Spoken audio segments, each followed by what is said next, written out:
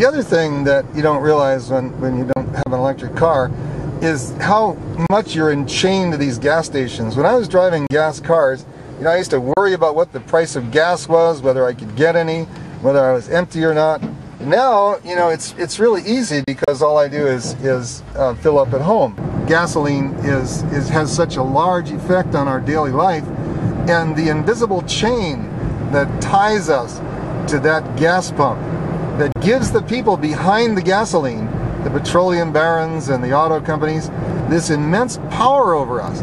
And it isn't just the power to order presidents around and the power to move fleets and attack foreign countries you've never heard of before. It's, it's the power to influence you, the power over you. Your daily life is directly tied to that gasoline pump. Mine too. And even though I don't drive a gas car anymore, my fate too is tied to those gasoline pumps because it's it's the money that comes from all of us that is used to support the oil megalopoly and the foreign oil wars and the clean up the oil spills and destroy the ocean and all the other things that oil does, in addition to blasting kids' lungs with permanent lung damage from nitric and sulfuric acid. Now there are some of the chargers at the at the Air Resources Board, and and one of the free RAV4 EVs that they get, which I think they use for air quality air testing. So all these chargers, you know, formerly were occupied by EV1s and Honda EVs and Ranger EVs and S10Es, but now they're all gone, and the Air Quality Management District staff rides around in gas cars, um, some of them being hybrids. And here we see the solar portico.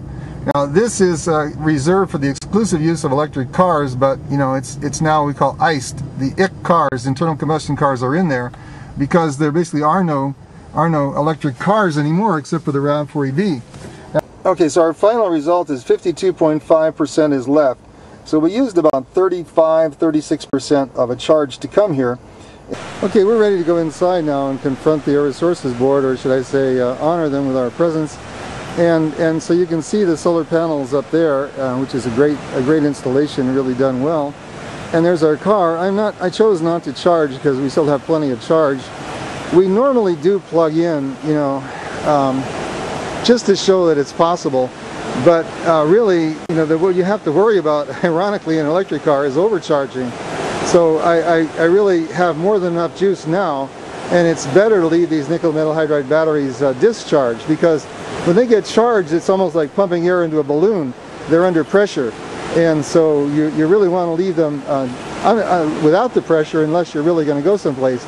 So we only charge it basically to about 80 or 90 percent unless we're going somewhere a long distance, then we might charge it to 100% and just drive it immediately because if you just let it sit, it doesn't do any good. So there's the hydrogen uh, boondoggle where they actually invested in hydrogen fuel pumps. Now, it's a good part of that is that they, they actually created a good nozzle that actually works. The natural gas nozzles generally are very um, difficult to use. So they actually created a good nozzle for this stupid hydrogen, but of course nobody can use it. I was out there looking at it and, and talking with the managers. He said, yeah, it's good, he said, but it costs us $18 a gallon, the equivalent to use this stuff, whereas natural gas is $2.79. So if you can't bring the cost of technical grade hydrogen down, you know, below $18 a gallon, I don't think it's going to have a very, very, very wide usage. You know, and there we see, you know, this, this hydrogen. Now, after four years after the Air Resources Board killed electric cars, in favor of fuel cell cars. There's less than 100 fuel cell cars on the road in California. Now don't forget, there were like 3,000 uh, zero emission vehicle battery cars. And we see these empty things here. There are no fuel, hydrogen fuel cell cars, essentially. You know, they're very, very rare. There's hardly any on the road because they just don't work. It's a stupid idea. You'd see fuel cells in stationary applications before you saw them in 10,000 PSI uh, uh, cars. So uh, basically we've gone backwards. You know, the, the cars, the zero emission vehicle cars that were on the road are gone and they're replaced by nothing. There's just, you know, those stupid hydrogen fuel stations at $18 a gallon that use cars that cost a million dollars and they can never get any cheaper than that. And the Air Resources Board, uh, you know, basically made several steps backward.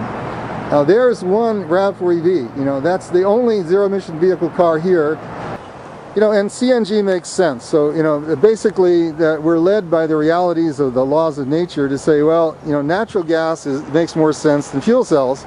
And eventually they're going to have to, you know, acknowledge that, you know, the fuel cell thing is a big boondoggle.